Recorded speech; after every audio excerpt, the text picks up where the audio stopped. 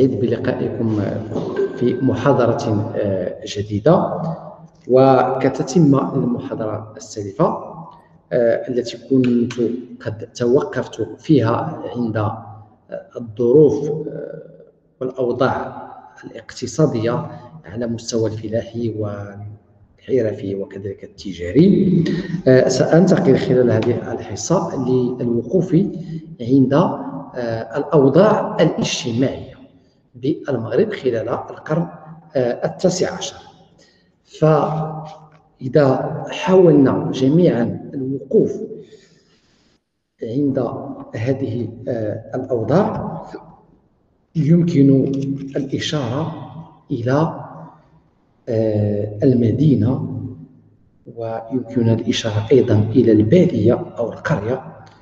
بالإضافة إلى عناصر أخرى مثلا المستوى التعليمي في هذا المجتمع والمستوى الصحي أيضا داخل هذا آه، المجتمع.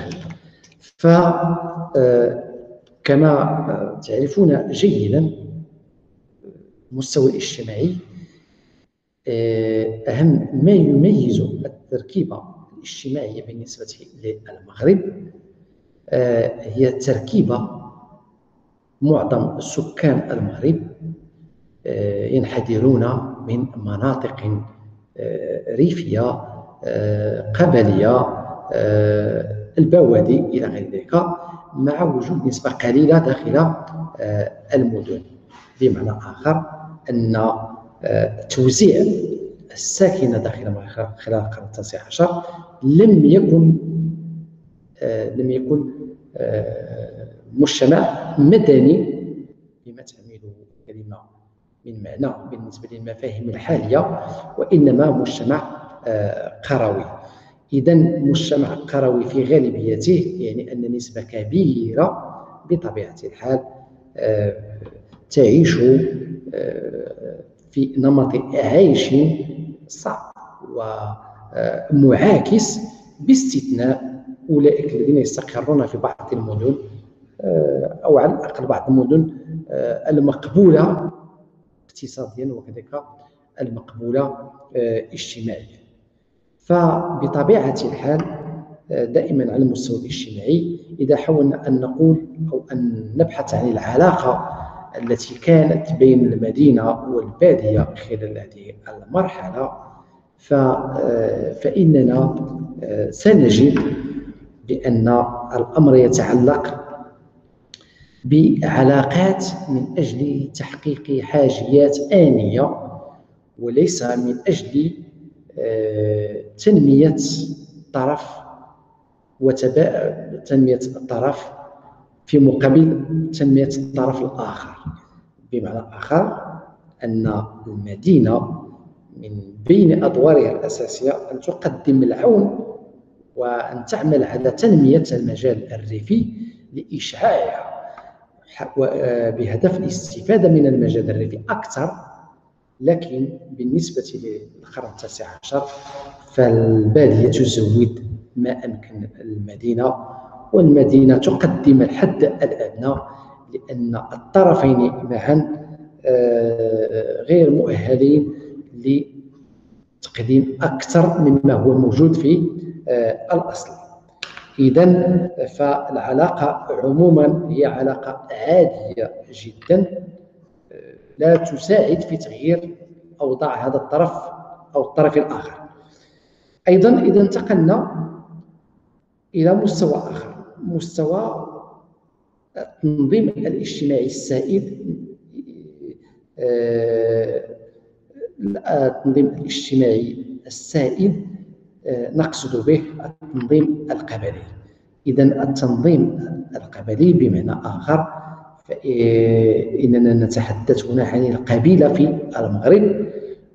والقبيلة في المغرب لها تاريخ طويل والمجتمع المغربي برمته كان مجتمعا قبليا. وهذا بطبيعة الحال يؤكد على أن عنصر المدنية ما زال لم يطرق باب المغرب لأن سيطرة القبيلة يعني غياب عموما المدنية يعني المدنية التي يندمج فيها الجميع دون الرجوع إلى آه، التعصب والعصبية سواء كانت قبلية أو دينية أو طائفية إلى غير ذلك. آه، كما أود أن أشير أيضا إلى عنصر آخر آخر داخل المجال الاجتماعي. مثلا المسألة الديمغرافية المسألة الصحية والمسألة التعليمية. بمعنى آخر هناك ترابط بين جميع العناصر الاقتصادية والاجتماعية. فعندما نقف عند المجال التعليمي ماذا سنستشف؟ نستشف بأن أغلب آه، أو نستشف بأن النظام التعليمي بالمغرب هو نظام تعليمي تقليدي ديني يزاول في آه، أماكن لها علاقة بما هو ديني كالزوايا وكذلك الرباطات والمساجد والمسجد إلى غير ذلك. بمعنى آخر آه، لا يمكننا أن نتحدث عن مؤسسات تعليمية بالمعنى الحديث للكلمة. يعني مدارس يعني سبورة يعني أستاذ يعني طباشير إلى غير ذلك. كل ما هنالك أن الأمر يتعلق بما هو تقليدي آه، محدود جدا وليس منتشر على نطاق واسع بمعنى أن الطابع الغالب على الإنسان المغربي كان هو طابع الأمية والعمل و آه، والعمل في آه، الحقول والأرض إلى غير آه، ذلك. هذا الوضع التعليمي سينعكس بطبيعة الحال على حياة الإنسان المغربي. مثلا سينعكس إذا أضفنا إليه القطاع الصحي. هو الآخر لا يخرج عن ما هو ديني بمعنى التداوي انطلاقا من اعتماد وسائل تقليدية بدائية انطلاقا من اعتماد وسائل دي آه، دينية.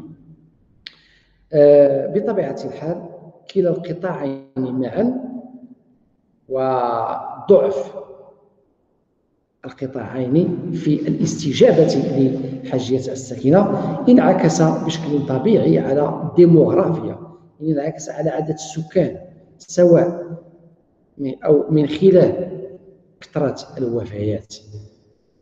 من خلال آه، آه، مثلا ضعف أمد الحياة من خلال انتشار أمراض كثيرة مما انعكس على النمو الديموغرافي وانعكس أيضا على القطاعات المنتجة لأن آه، قطاع القطاعات الاقتصادية المنتجة تحتاج إلى جسم سليم تحتاج إلى عقل آه، سليم يعني تحتاج إلى صحة وتحتاج إلى علم وتحتاج إلى تعليم وهذا أمر لم يكن متوفر اطلاقا بالنسبة للمغرب وهذا الشيء انعكس و انعكس سلبا على أوضاع المغرب الداخلية وأيضا شجع على التدخل آه، الأجنبي.